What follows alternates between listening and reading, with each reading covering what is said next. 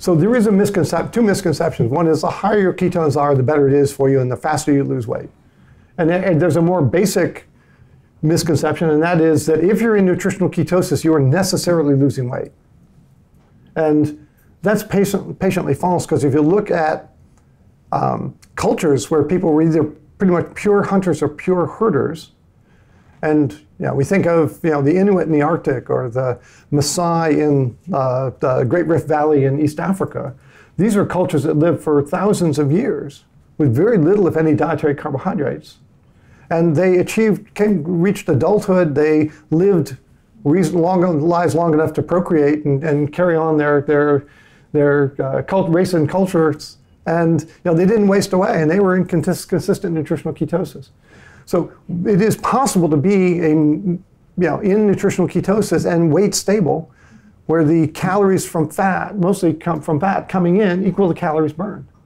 So I did a study in bike racers, lean guys who had almost no body fat to burn. We locked them up on a metabolic ward for four weeks, which is pretty expensive to do. I would have loved to done months, but they, they would have gotten cabin fever in there, and B, uh, we would have gone broke. But in four weeks, eating uh, as many calories in as they burned, they stayed perfectly weight stable in terms of lean body mass and body fat content over the course of, of that four week period of time. And I don't like to point to myself, but uh, uh, the 13 years ago, I decided to put my mouth where my mouth is and actually follow my own advice. Uh, and for 12 and a half years, I've been weight stable within roughly two kilos, plus or minus. Um, and my ketones typically vary anywhere from between 0.5, 0.7 at my lowest points and then 3.0 or more after endurance exercise. So I've been in continuous nutritional ketosis and I haven't wasted away because my dietary fat intake is such that I, uh, yeah, and protein in moderation that I, I, maintain stable weight.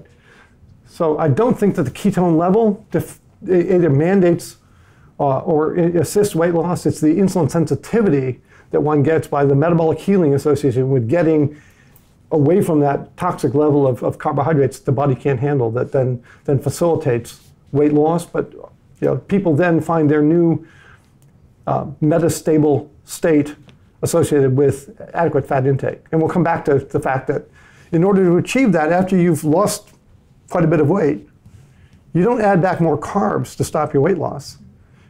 You add back fat to, to maintain satiety to achieve stable weight.